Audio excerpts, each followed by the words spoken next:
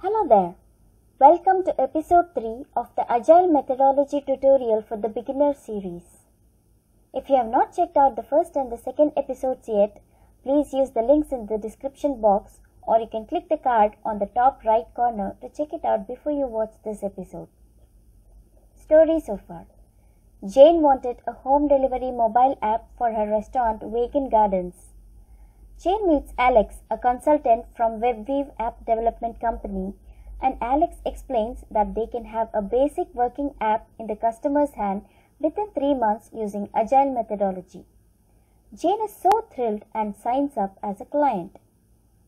Alex, with the help of Phil, the business analyst assigned to this project, conduct different elicitation sessions such as workshops, interviews, survey and focus groups and collects the business and user requirements for the mobile app. Please subscribe to our channel if you have not done so already and also hit the bell icon so that you will be notified when the next episodes are posted. Now let's proceed with the story. Alex had mentioned Jane about the next step in the process, Sprint Zero. She was aware of sprints, which is a two week duration for delivering product increments. But the term Sprint Zero made her curious as to why they were starting from Sprint Zero rather than Sprint 1. Sprint Zero is a preparation sprint. There is no product increment delivered. Focus is on the below three key items.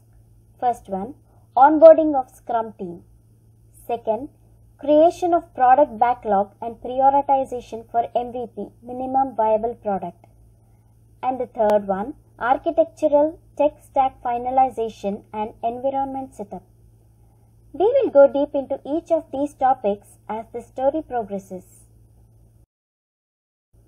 Let's look at the first item, onboarding of the Scrum team. Alex had already initiated the request for the Scrum team in his company WebWeave as soon as Jane had signed the agreement couple of weeks back. The team had been assembled now. Let's go over the composition of the team. Typically, Scrum team involves three roles. First one, the product owner. As mentioned earlier, Alex is playing the role of a product owner interacting with the business and the end users, that is Jane's team and her customers, to understand their needs and requirements. He will play the main link between end users and the Scrum team. He also maintains and prioritizes the product backlog, more on that shortly. Second one, the other key role is Scrum Master. Scrum Master helps to keep the team accountable to their commitments to the business remove any roadblocks that might impede the team's productivity, organize critical meetings. We will have more on this in the next episode. Jim joins the team as a Scrum Master. Third one, development team. The third role is development team. The size can vary from 3 to 9 people. Development team is a self-organized, cross-functional team with all the skills required to turn product backlog into increments of potentially releasable functionality.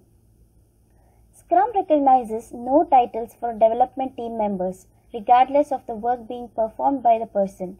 It comprises of developers, tester, business analyst, and solution architect. The composition of the development team is as follows. Business analyst Phil, whom we have already met in the previous episode. Developers Ron, Kim, and Adrian. Tester Kate, and solution architect Tom. Jim sets up a meet and greet session with all the team members. Next, we move on to the second item creation of product backlog and MVP prioritization.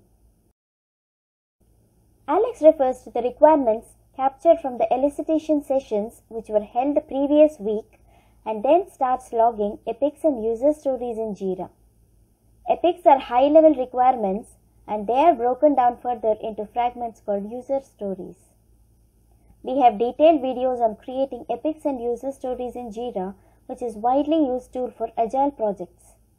The link has been provided in the description. Check it out later on. All the epics and user stories put together is termed as a product backlog. Next off is the prioritization of this product backlog. As mentioned earlier in the first video, Jane wants to put the mobile app in the hands of the customers with a minimum set of features. This is termed as MVP or minimum viable product. Alex needs Jane's team's feedback to finalize the scope for MVP. He uses a technique called user story mapping. All the epics and user stories are arranged from a user journey perspective as shown in this diagram. Firstly, the customer would browse the menu for selection of the food item. Then they select and order the items they desire followed by selection of payments method and lastly track the order until it is delivered to them. As shown in the diagram, an epic is created for each of these major steps in the customer journey and then they are further broken down into user stories with specific requirements. Alex then arranges for a requirement prioritization meeting with Jane and her team something similar to the workshop session from the last episode. In the session, Alex walks through the epics and user stories and asks Jane and her team for the necessary features for the MVP.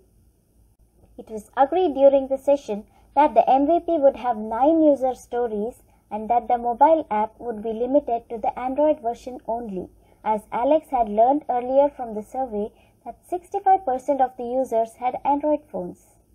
Alex thanks Jane and her team.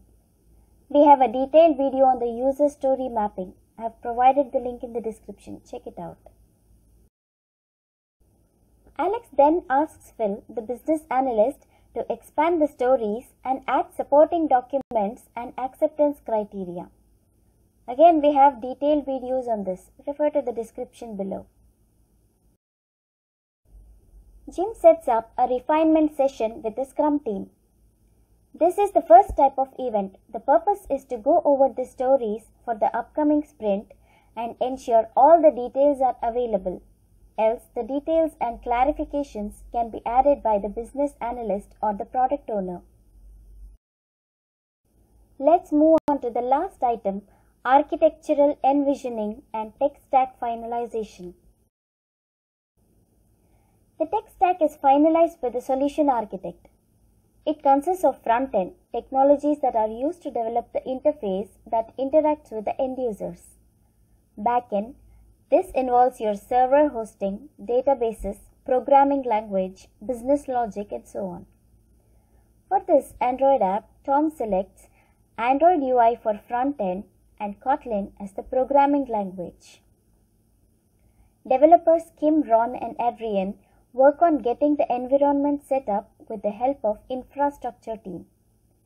Different environments are created for development, testing, pre-prod and production. Then they work on configuring the IDE, a consolidated platform that provides necessary libraries and interfaces and supporting tools required for development. Android Studio would be used for development of the app.